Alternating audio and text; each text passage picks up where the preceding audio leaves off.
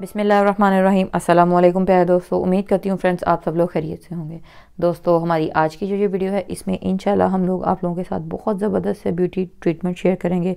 एक बहुत आसान सा, एक ऐसा ब्यूटी प्रोडक्ट है, जो कि ख़ास तौर पर ऑयली स्किन वाले लोगों के लिए सेंसिटिव स्किन वाले लोगों के लिए, जिनको स्किन इन्फेक्शन बहुत जल्दी हो जाते हैं रैशेज़ पड़ जाते हैं रेडनेस हो जाती है स्किन पर एक्ने हैं पिम्पल्स हैं तो बेहतरीन किस्म का नेचुरल प्रोडक्ट से बनाया हुआ हर्बल हमारे प्रोडक्ट शेयर का। नीम वाइटनिंग सोप दोस्तों बहुत शानदार है। ये नेचुरल प्रोडक्ट नेचुरल हर्ब नीम जिसको सदियों से इस्तेमाल किया जा रहा है।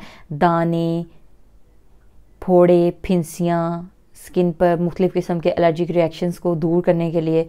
तो इसीलिए आज हम एक ऐसा प्रोडक्ट आप लोगों के साथ शेयर कर रहे हैं जो कि ऑयली स्किन के लिए, क्योंकि ऑयली स्किन एक ऐसी स्किन है जिस पर दाने एक्ने पिंपल वगैरह बहुत जल्दी बन जाते हैं और बहुत सेंसिटिव होती है, उस पर स्किन इन्फेक्शन जल्दी हो जाते हैं रैशेज़ हो जाते हैं।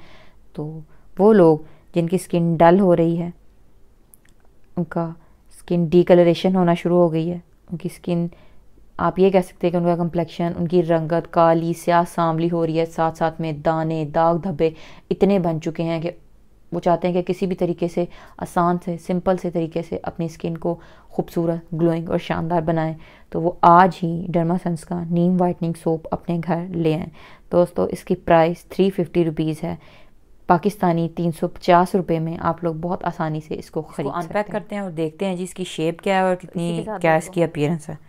फ्रेंड्स सिर्फ़ और सिर्फ़ three fifty rupees P K R तीन सौ पचास रुपये में आप इसको ख़रीद सकते हैं। इतनी कोई हैवी और एक्सपेंसिव इसकी अमाउंट नहीं है। देखिए कितना खूबसूरत सा, ज़बरदस्त सा उन्होंने ये सोप कंटेनर भी साथ में दिया है, जिसको हम लोग साबुनदानी कहते हैं। ये देखें ट्रांसपेरेंट सी। ये कितनी ज़बरदस्त इसकी पैकिंग है। और खुशबू यकीन मानिए दोस्तों, आप इसको अनपैक ही करेंगे तो इतनी ज़बरदस्त खुशबू आपको नज़र आएगी ना। महसूस ऐसे होगी, अभी हाथों में पकड़ा हुआ आपके नाक तक खुशबू जाएगी। बहुत अच्छा देखें क्रिस्टल सा क्लासिक सा सोप है। दिन में कम से कम दो से तीन दफ़ा इस्तेमाल करें आप लोग।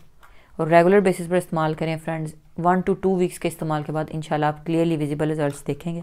तो इसी के साथ इजाज़त दीजिए दुआ में याद रखिए, अपना ख्याल रखिएगा।